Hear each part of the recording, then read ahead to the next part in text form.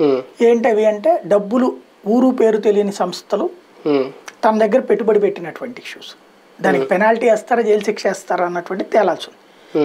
రెండు మూడు కేసుల్లోనే ఉంది అది. అన్ని కేసులు అట్లాంటివి కాదు. జగన్ నిరికించడానికి ఏం చేశారు?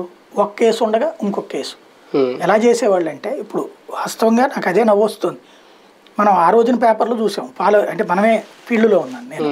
రెండు వేల తొమ్మిది నుంచి కరెక్ట్గా ఈ జ రాజశేఖర్ రెడ్డి చనిపోయిన తర్వాత నేను చూసుకుంటే నేను ఆ టైంలోనే రెండు వేల తొమ్మిది అప్పుడు తిరుపతిలో ఉన్నాను. ఆ తర్వాత నేను హైదరాబాద్ బీట్ చూసా సీఎం బీట్.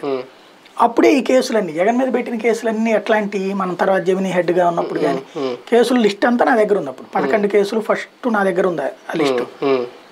ఆ కేసుల్లో ఎట్లాంటివి పెట్టారు? ముందు ఒక కేసు పెట్టడం. దీంట్లో విచారిస్తున్నాం. విచారించడానికి కొన్ని రోజుల పాటు నేను కస్టడీకి తీసుకుంటా. రైట్ అయిపోయింది. ఇంకా సరిగ్గా చెప్పలేదండి ఇంకో రెండు రోజులు కస్టడీ తీసుకుంటా. అంటే వాళ్ళని ఎట్ట ఉంటుందంటే కోర్టుల్లో కస్టడీ ఇప్పుడు నువ్వు ఎన్ని అడిగితే అన్ని రోజులు చచ్చినవారు ఉమ్, కావాలని కోసిస్తారు. మీరు యాభై రోజులు కావాలంటే వంద రోజులు అడిగితే అప్పుడు యాభై ఇస్తారు. వీళ్ళు అట్టాగా వారం అడుగుతారు.